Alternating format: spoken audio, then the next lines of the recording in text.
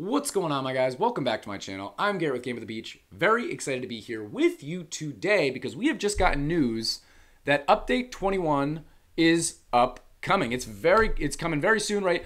End of August, and we've got the first little piece of news about what to expect and the big things to mention are the talents that are coming to Knight Statue as well as Crystalmancer. So we're going to be breaking it down as well as playing around with a new deck with Crystalmancer and Sword because Sword's going to get a rework too. So guys, grab your coffee, grab your device. Let's head on down to Game by the Beach.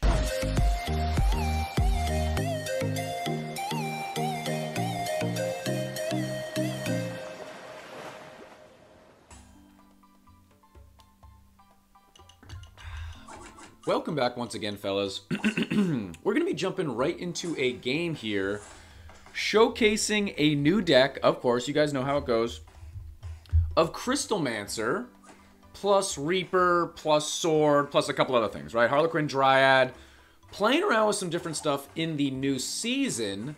Uh, and the reason we're starting off with a replay and using these specific cards is because these cards are going to be adjusted and boosted in the next update. So update 21.0 is coming at the end of August, okay? And we just got released the little the first little tidbit of news of what to expect in this upcoming update. So I thought what better than to play a little game. I just played this game maybe 20 minutes ago. It's a good one.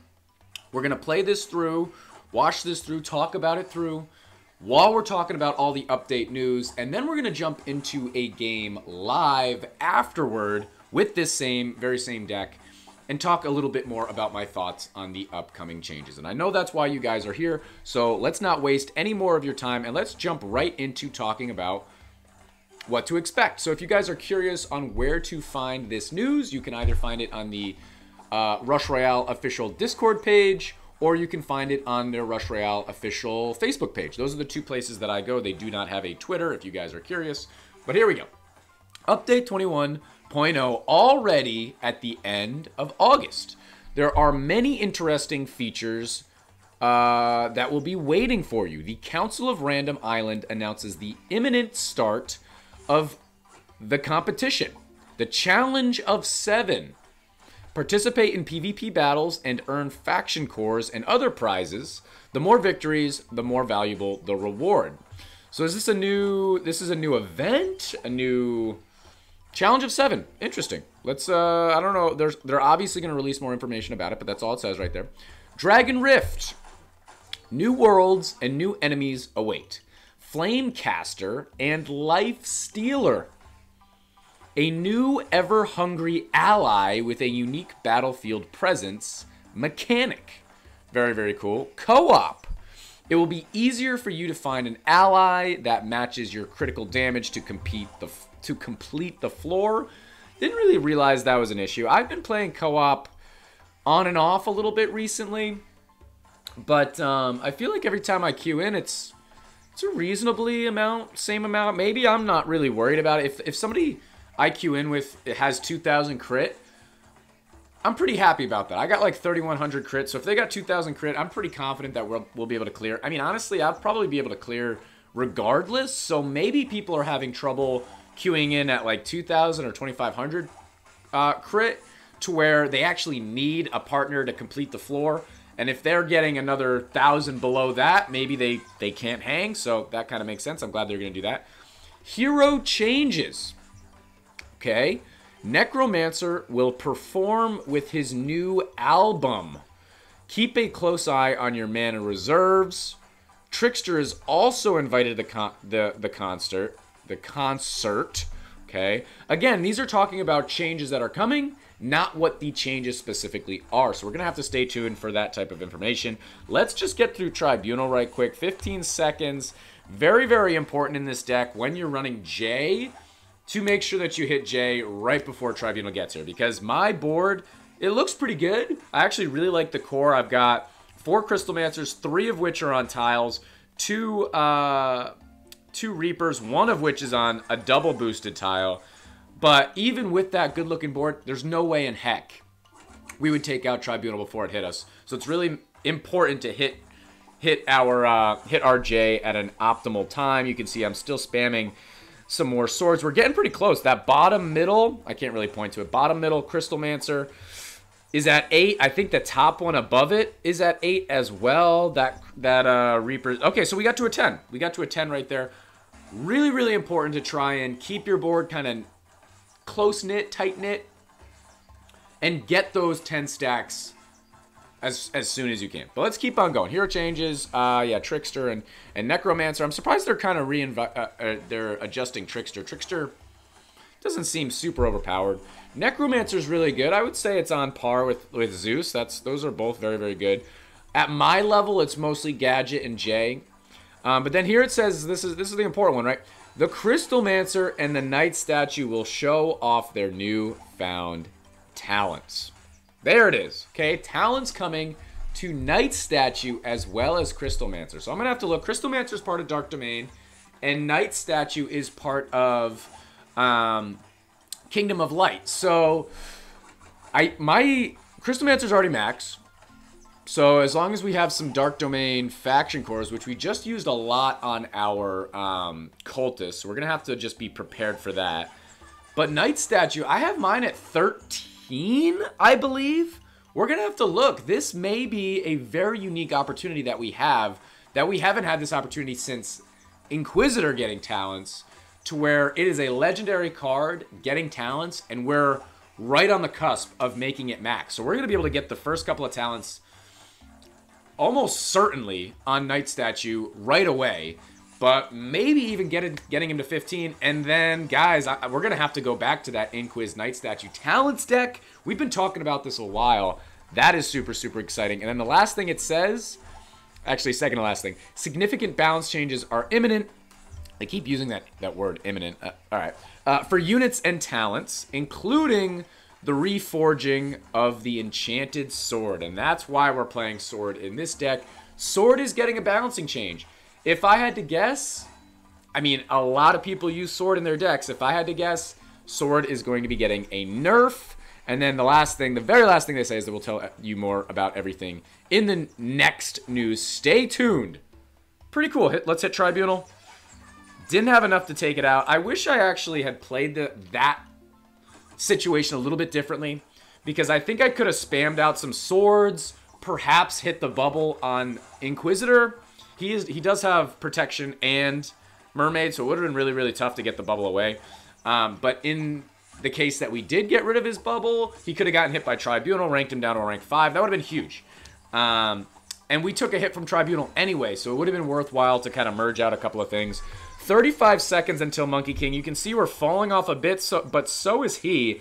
And this is why this combination is so important between Jay, sorry, uh, between Reaper and Crystal Mancer, because Crystal Mancer really can't hold their own during waves.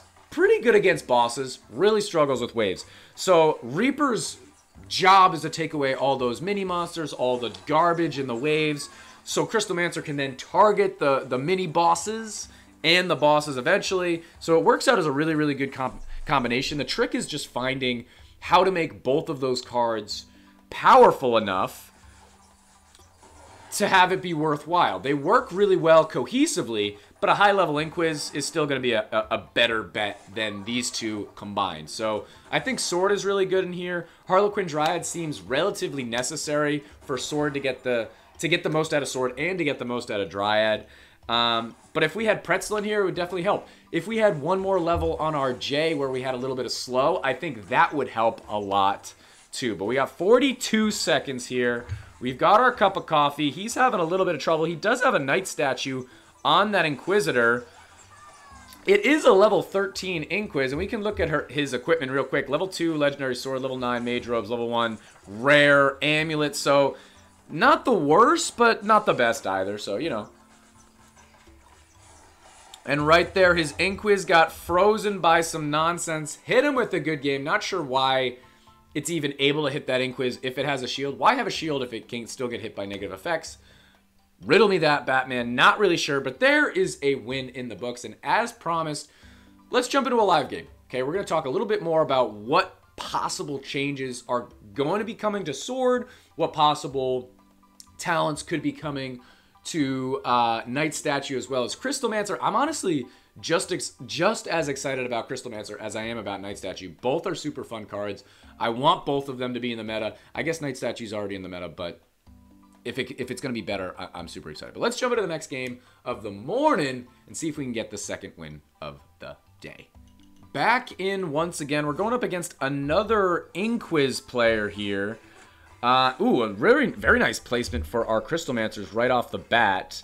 And equipment, again, relatively average, I'd say. The only difference here is that my man is running Sword as well as running knight Statue. So that's definitely interesting. You almost never see that. Isn't there like a really specific piece of Sword to where it doesn't work as well with knight Statue? I think it's something like that. But either way, it's going to be annoying to deal with because we're going to be it's going to be very very difficult. I'm actually going to do this, kind of a weird play, but maybe you'll under maybe maybe maybe it'll work out. Um but either way, it's going to be a hindrance for us. It's going to make it that much more difficult for us to get a 10 stack, which is really really our goal. And, uh, and if we're not able to, I don't know how well this deck is going to work out. I'm trying to find an Ascended Sword. Very, very difficult to do so. That's one of the main reasons that we have Harlequin in this deck, because we really need to find those Ascended Swords. Without them, this deck is definitely going to struggle. But let's keep talking about what kind of things would be really good in uh, as talents. Because Crystalmancer, I feel like it would be really good to have some sort of a slow. It would be really good to have some sort of a multi-target. A multi-target Crystalmancer could be really, really cool. It could also just go more in the direction of the the ramp up. Okay, because Crystalmancer, as it targets a monster, it's supposed to ramp up, right? It's supposed to do more and more damage over time, to where I feel like you really don't notice that ability. It, eh, maybe a little bit, but it would be awesome if it actually was noticeable to where when it starts, let's say it has a 10 mil, it's like 10, 9, 8, 9, 6, 9, 2, and then it's like 7, 2, gone. Like, I want to see it actually, oh, let's, like, I want to see it really, really get going and output a high amount of damage. I think that would be super, super cool.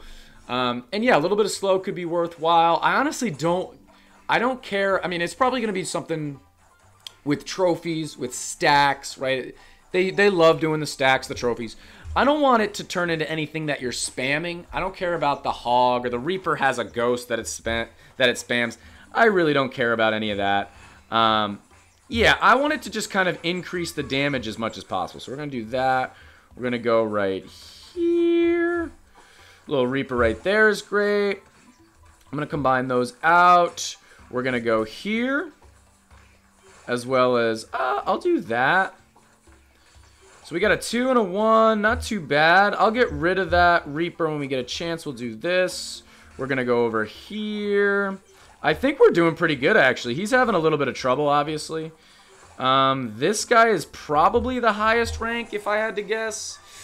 And then when it comes to Night Statues, let me know in the comments what you guys would want to see out of the talents for Knight Statue and for, for Crystalmancer. But let's try and guess. So for Knight Statue, increased damage, increased attack speed. Right? I think it's just increased crit right now. It's not it's not attack speed, but attack speed would be sweet. Um what else could it possibly be? Ooh, keeping uh keeping this guy around could be fun. Again, I don't really want something that stuns my opponent.